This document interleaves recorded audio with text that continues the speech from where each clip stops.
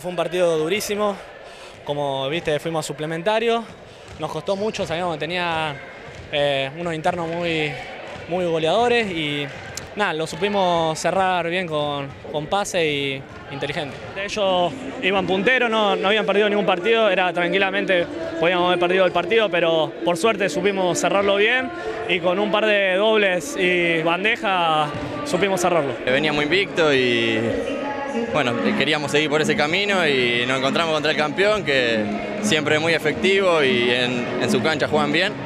Así que bueno, nos quedó la última ahí, le erramos y bueno, después en el suplementario nos pasaron por arriba. Como todo, siempre cuando perdés, tratá de aprovechar para, para, para potenciarte, digamos, desde el error, hacer lo mejor posible para, para seguir como veníamos, digamos, y jugar mejor.